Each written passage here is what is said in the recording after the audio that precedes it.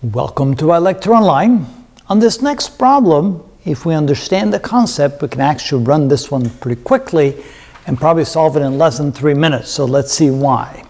It deals with the magnetic field of two coplanar current loops. The concentric circular loops, one of radius r and the other of radius 2r, lie in the xy plane with the origin as their common center as shown in the figure. The smaller loop carries current I1 in the anti-clockwise direction and the larger loop carries current I2 in the clockwise direction with I2 greater than twice I1. The B field is denoted as the magnetic field at a point xy in the xy plane. Which of the following statement or statements are correct? And here are the four statements and there is the drawing, the, the diagram that uh, they so kindly gave to us. All right, how can we solve this one quickly?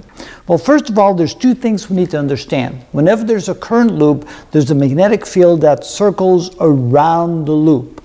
We use a right hand, put our thumb in the direction of the current, and we can see that the, that the B field, the magnetic field, will go around the current like this, which I'll use blue for I1 to denote the direction of the magnetic field. So notice it will be into the board, outside the loop, and out of the board, inside the loop. So you can see that the B field goes like this, out of the loop, in the loop, uh, I mean into the board, and out of the board around I1.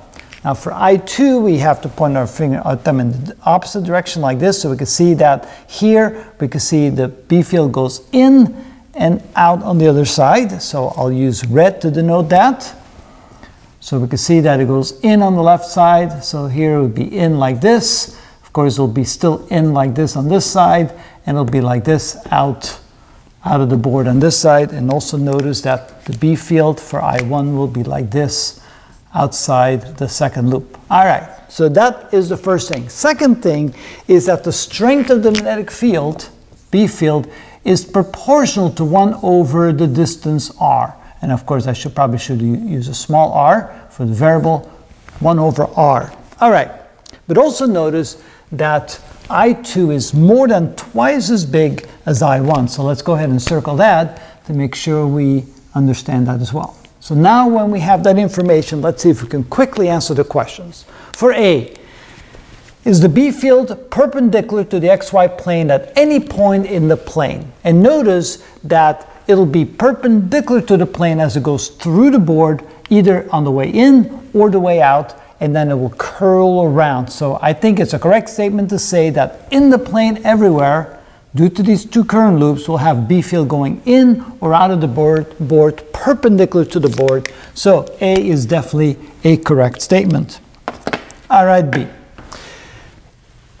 The magnetic field depends on x and y only through the radial distance r. So the, the idea is, if we go out a certain distance r in any direction, will the magnetic field be the same along any circular, well, any circle I should say, in the board? And the answer is yes. It doesn't matter what the xy is, it's simply the radial distance on either side of the current loops. So it looks like B is also a correct answer. So now for C. C says the magnetic field is non-zero at all points r less than r. So we're assuming that there's no way that they will ever cancel each other out. But notice that I2 is twice as far from the origin as I1, and the strength of the, of the magnetic field or the strength of the current is greater than is more than twice as much as this. So even though we have twice the distance, the strength of the current is more than twice as much as the current of I1, and so there must be a point in here where the two will cancel out, the distance is just right, not quite at the origin, but a little bit away from the origin, where they will cancel each other out, and there will be a zero magnetic field. So therefore, there are some places where you expect a zero magnetic field at some distance away from the origin, so therefore that is a incorrect statement.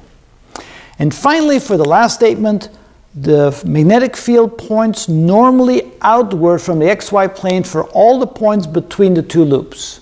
Now, points outward, but notice that the magnetic field for the inner loop from the inner loop is pointing into the board, and the magnetic field for the outer loop is pointing in the board. So between the two loops, it's always into the board.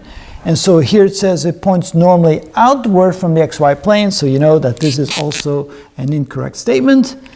And so hopefully you can go through this logic in less than three minutes and save some precious seconds for the next problem. But only A and B are the correct answers in this particular problem. That is how it's done. How long did I take? More than three minutes.